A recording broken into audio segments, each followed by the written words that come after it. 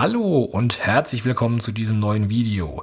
iClip Fazit nach ungefähr eineinhalb Jahren. Ja, zu Beginn des Videos ganz kurzer Disclaimer. Den iClip habe ich selbst gekauft und selbst bezahlt, aber ich werde euch im Verlauf dieses Videos auch ein bisschen was an Zubehör vorstellen, das ich persönlich auch mit dem iClip verwende und äh, das wurde mir zum Teil als Produkthilfe, also ohne Werbebotschaft von Herstellern kostenfrei zur Verfügung gestellt.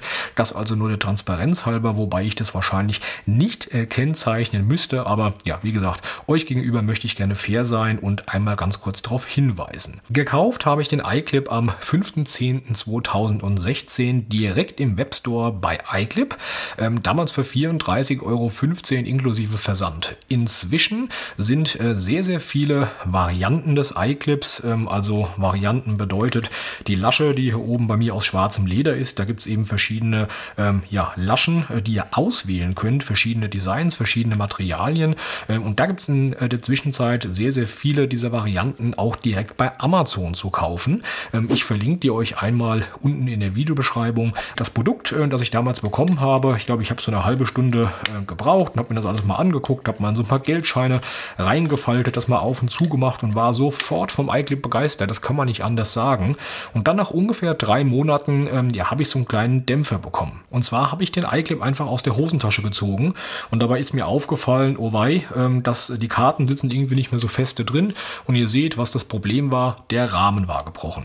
Ich habe dann direkt am gleichen Tag ein Foto gemacht und habe das äh, zu iClip per E-Mail geschickt und habe, glaube ich, eine halbe Stunde später schon eine Antwort bekommen. Sorry, sorry, ähm, der neue iClip ist bereits auf dem Postweg zu dir. Also Service tipptopp. Und ich habe dann im Nachgang irgendwann auf der Webseite von iClip erfahren, dass es wohl mal eine Produktcharge gab, ähm, die Probleme hatte mit, äh, der, mit dem Material, so dass die Rahmen wohl ab und zu mal gebrochen sind. Ähm, das ist aber irgendwann oder relativ schnell ähm, dann aus dem Weg geräumt worden. Und ihr seht ja, diesen iClip hier, den habe ich eben seit über einem Jahr in Verwendung. Und bis auf so ein bisschen Patina am Leder und am Rahmen ähm, steht der noch tiptop da, da ist nichts rausgebrochen, abgebrochen, der Druckknopf hier sitzt nach wie vor super feste dran, die Lederlasche sitzt ja wie am ersten Tage fest drin, also ähm, das ist überhaupt kein Problem. Materialwahl, ich glaube der Hersteller nennt äh, das, was hier im Rahmen verwendet wird, Robustness, das ist so ein spezielles äh, Kunststoff, das hier für entwickelt wurde, habe ich auf jeden Fall gelesen, ähm, ja, bin ich tiptop zufrieden mit, da lässt sich überhaupt nichts meckern. Wenn ich mir eure Kommentare unter meinen Videos anschaue, dann bekomme ich immer wieder die Frage gestellt, verkratzen die Karten im iClip nicht äh, und ähm, ja, es führt das nicht dazu, das Aneinanderreiben der Karten beim Raus- und Reinschieben, ähm, dass meine Kreditkarte nach ähm, einem Monat ähm, im iClip defekt ist. Also, ich kann euch sagen, ich verwende den iClip extrem häufig und habe ihn jetzt seit über einem Jahr in Verwendung und keine meiner Karten hat bis auf vielleicht so ein paar, ähm, ich sag mal, Kratzerspürchen ähm, irgendeine Funktion äh, eingebüßt. Ich musste noch keine Karte austauschen. Es funktioniert alles genauso, wie es sein soll. Heißt also, ähm, die Karten leiden oder litten, in meinem Fall jetzt hier, auf jeden Fall überhaupt nicht unter der Verwendung im iClip. Ich kann hier also nur Positives berichten. Und diese Angst hatte ich zu Beginn natürlich auch so ein kleines bisschen. Ja, der äh, kann ich komplett oder das kann ich komplett vorwegnehmen. Ähm, da müsst ihr euch keine Gedanken machen. In meinem Fall auf jeden Fall war das überhaupt gar kein Problem eine wunderschöne Patina hat, äh, der iClip angenommen. Das oben in meinem Fall ist ja echtes Leder. Ähm, ihr seht es vielleicht hier bei der Variante, die damals ungefähr drei Monate in Verwendung war. Ähm, da äh, glänzt das Leder richtig stark. Hier äh, ist es ein bisschen matter geworden. Ich trage ihn immer in der vorderen Hosentasche, in der Regel in der vorderen linken Hosentasche, weil rechts mein Handy ist. Ähm, und ja, hin und wieder schwitzt man natürlich auch mal ein bisschen etc. Äh, und da seht ihr einfach, wie sich das Material verändert. Ähm, finde ich wirklich schön. Also der iClip ist äh, ja seit über einem Jahr ähm, gefällt er mir eigentlich noch genauso wie am ersten Tag. Und auch der Rahmen hat so ein paar Mini-Kratzerchen abbekommen, aber Material hält nach wie vor. Ähm, ja, ich finde, man sieht einfach, dass man ihn seit einem guten Jahr in Verwendung hat, aber das äh, überhaupt nicht negativ, sondern im Gegenteil, ähm, ja, ich nenne es mal Patina, die das äh, Produkt hier angenommen hat, ähm, passt auf jeden Fall, gefällt mir nach wie vor sehr, sehr gut. Ich habe eben schon ganz kurz über das Thema Zubehör gesprochen. Ähm, wenn ich mir eines der ähm, Aspekte mal rauspicken äh, soll, äh, die unter meinen Videos mit am häufigsten gefragt werden, wohin mit meinem Kleingeld? Für mich persönlich ist das weniger ein Thema. Wenn ich Kleingeld bekomme, dann packe ich das in die Hosentasche. Wenn ich heimkomme, dann kommt es irgendwie in eine Spardose von unserem Kleinen rein oder ähm, ja irgendwo äh, in ein Aufbewahrungsgefäß ähm, oder ins Auto oder wo auch immer. Ich habe mit dem Thema Kleingeld persönlich nicht so das Riesenproblem. Problem. Ich weiß aber, dass ein Großteil meiner Abonnenten ähm, ja, äh, da einen Fokus drauf legt. Mittlerweile ist es so, dass diverse Hersteller Produkte, Ergänzungsprodukte für Slim Wallets, die natürlich auch in den iClip reinpassen, entwickelt haben, um auch Münzgeld, Schlüssel, SD-Karten etc. in einem Slim Wallet, also auch in dem iClip transportieren zu können. Dazu, ich greife mal hinter mich, gehören diverse Produkte. Äh, ich habe hier zum Beispiel äh, zwei ähm, sogenannte Coin Cases aus dem Hause Arandano.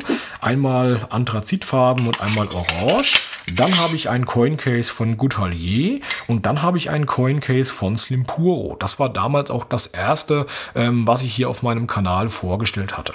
Ich hoffe, ihr könnt es einigermaßen gut erkennen. Ähm, Im Grunde handelt es sich um Aluminiumrahmen, ähm, die äh, jetzt, äh, ich nehme mal den Slimpuro äh, Coin Case kurz zur Seite, die im Grunde genauso dick sind wie eine Münze und das Ganze verhindert, also ich lege hier mal so einen Euro rein mit der Orangen, da ist der Kontrast unter der Kamera einfach größer. Ähm, und ich lege hier einfach mal so eine Karte drüber, eine ganz normale Kreditkarte. Und ihr seht, ähm, das sitzt hier äh, so feste drin, dann das Geldstück, dass es eigentlich kaum Möglichkeit hat, irgendwie zu wackeln und Geräusche zu produzieren.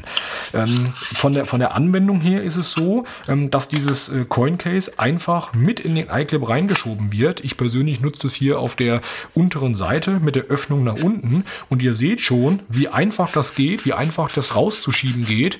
Und hier habt ihr jetzt die Möglichkeit, eure Münze mit reinzupacken. Und ihr seht, ein kleines bisschen wackelt aber kaum. Wenn man ganz doll nach rechts und links wackelt, dann fällt die Münze minimal hin und her, aber man merkt es wirklich kaum. Slimpuro äh, ist nun hingegangen und hat äh, diese Coincard minimal dicker gestaltet. Hier seht ihr es vielleicht. Und hat hier ähm, so, eine, so ein Filz oder so ein kleines Stück Stoff ähm, hier reingeklebt, ähm, so dass äh, auch am Rand äh, die Münze wenn sie irgendwo gegenschlägt, nicht äh, mehr äh, Geräusche produzieren kann. Äh, und noch ein weiterer Unterschied zu der Arandano-Karte ist, dass hier so kleine Rillen eingearbeitet sind, äh, mit denen man, wenn die Karte im iClip drin sitzt, ich zeige es euch mal, wenn man sie ein bisschen rausgeschoben hat, dann kann man sie hier mit äh, der Rille ein bisschen vorziehen. Aber dafür ist das Ganze einfach etwas dicker, als das bei der äh, Karte hier von Arandano oder zum Beispiel auch von Goutalier ist. Ähm, ich verlinke die euch alle mal, da ist die Hotelierkarte, ich verlinke äh, euch die alle mal unten in der Videobeschreibung. Schaut sie euch einfach mal selbst an. Grundsätzlich kann ich das, wenn ihr euch ähm, ja für oder wenn das Thema Kleingeld im Slim Wallet für euch einfach wichtig ist, kann ich euch das nur empfehlen, eine solche Karte zu verwenden. Ähm, lässt sich hier sehr, sehr einfach ähm, betreiben. Äh, ich kann natürlich auch Geldscheine klein falten und die hier reinpacken, Schlüssel etc. Also da ja, sind wirklich alle Optionen da äh, und das erweitert das äh, Nutzungsspektrum eines Slimwalls nochmal unglaublich. Okay, ähm, ich packe die mal zur Seite ähm, und äh, wir sprechen jetzt mal über, ähm, ich sag mal, ich würde dem iClip grundsätzlich äh, 9,5 von 10 Sternen geben. Ähm, warum 0,5 Sterne Abzug? Und zwar ähm, habe ich persönlich oder lege ich persönlich einen ganz, ganz starken Wert auf das Thema ähm, Schutz meiner Kreditkarten, Bankkarten, Personalausweise etc., die über die kontaktlose Bezahloption verfügen.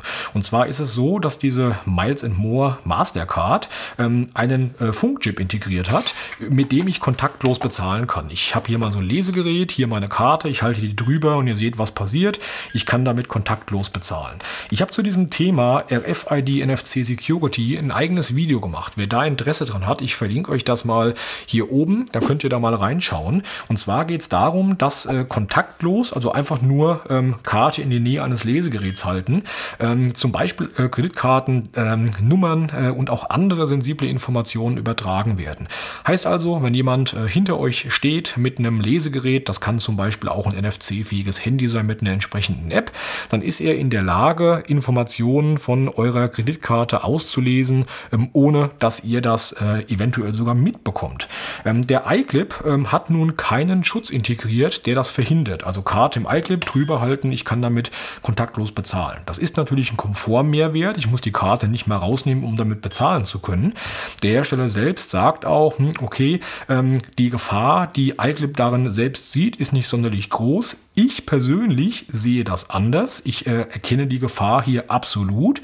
Und ähm, mittlerweile ist es so, dass iClip äh, eine eigene RFID-Blocking-Lösung ähm, anbietet. Im Prinzip sind das zwei Karten oder zwei, ähm, ja, so, ich denke mal, Carbon wird das wahrscheinlich sein, Karten in Form einer Bankkarte. Eine packe ich ganz unten rein und eine ganz oben. Also ich schließe sozusagen meine Karten äh, oben und unten mit dieser Blocking-Lösung ein. Und das Material dieser Blocking-Card verhindert dann, ähm, dass diese Frequenzen hier ausgetauscht werden können. Ähm, Nachteil aus meiner Sicht ist, dass ihr zwei Karten braucht. Ich persönlich nutze, und äh, da zeige ich euch jetzt mal einen zweiten Lösungsansatz, sogenannte RFID-Störsender und zwar aktiver Art. Ich habe hier eine Karte von Goutalier, hier eine von Macaca on the Run, hier von Securify und hier von Slimpuro.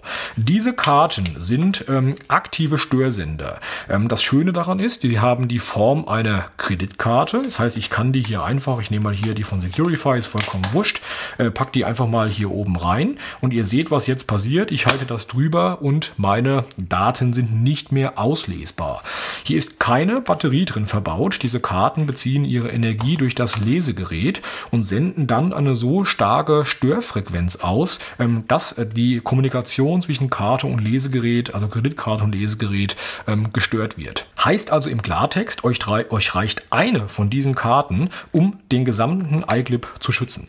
Ähm, die Technologie ist hier bei all diesen Herstellern, die ich hier liegen habe, relativ identisch. Also wie gesagt, Securify, Goutalier, Macaco on the Run und Slimpuro. Äh, am Ende ist es sicherlich äh, eine Frage Preis und Design. Ich verlinke euch die mal alle in der Videobeschreibung und hier auch nochmal kurz der Hinweis, diese Karten wurden mir vom Hersteller oder von den Herstellern kostenfrei zur Verfügung gestellt. Wie gesagt, keine Werbebotschaft. Ich verwende sie selbst, bin da auch überzeugt von und äh, kann euch nur ans Herz legen, euch da mal ähm, ja, einzulesen und äh, euch das vor allem auch mal anzuschauen, wenn ihr den iClip on top absichern wollt. Wie gesagt, ich verlinke euch aber auch die iClip eigene Blocking-Lösung mal unten mit diesen zwei Karten. Ja, wem das äh, eher zusagt, eher gefällt, der kann dann da auch mal reinschauen. Also, ähm, ich würde jetzt mal sagen, ähm, mit einer ergänzten Blocking-Lösung bekommt der iClip von mir ganze 10 von 10 Punkten. Es gibt nichts, was ich hier dran aussetze. Super schneller Zugriff. Ich zeige euch vielleicht noch mal kurz, weil auch da immer wieder nach gefragt wird, wie äh, kann ich das Geld oder wie wird das Geld gefaltet, wie kann ich das Geld entnehmen und wenn ich vom Bankautomat komme, auch wieder einlegen. Super, super simpel. Ähm, ich gehe einfach hin, äh, die äh, Geldscheine und packe sie hier einfach unten alle in der einen Ecke so ein bisschen zusammen. So, dann nehme ich den iClip, halte ihn meistens hier ähm, so fest, dass ich die Lasche aufklappe. Dann werden die Scheine einfach hier reingeschoben. Geht super schnell. Ähm, ich mache mir jetzt auch gar nicht die Arbeit und falte die jetzt hier ähm, ganz, ganz fein oder knicke die ganz, ganz sauber hier rein, sondern ich gehe wirklich einfach hin und falte die Scheine einmal grob in der Mitte, wie ihr es jetzt hier seht. Also so einmal grob in der Mitte alle zusammen gefaltet. Schlag sie dann hier einmal um, sodass sie ungefähr hier von der Größe hier reinpassen und dann lege ich einfach die Lederlasche drüber und packt den oder macht den Druckknopf hier zu. Äh, bei dem habe ich im Übrigen am Anfang auch so ein bisschen Bedenken gehabt. Hält der hier feste drin oder reißt das da raus? Nö, überhaupt gar kein Problem. Selbst mit vielen Geldscheinen, vielen Karten hält wirklich super hier drin.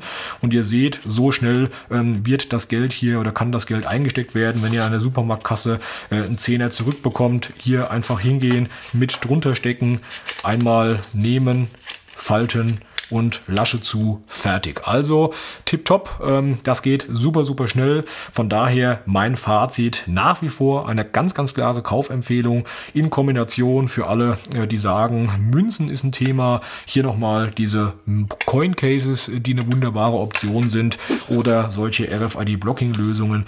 Also da ist wirklich für jeden was dabei. Ja, damit ähm, möchte ich aber jetzt nach ungefähr 15 Minuten, so lange habe ich jetzt schon wieder gesprochen, ähm, ja, ans Ende kommen. Ähm, ich bedanke mich bei euch fürs Zusehen. Würde mich wirklich über Kommentare unten ähm, einmal von euch freuen. Also wenn ihr Feedback dazu habt, lasst es mir gerne da.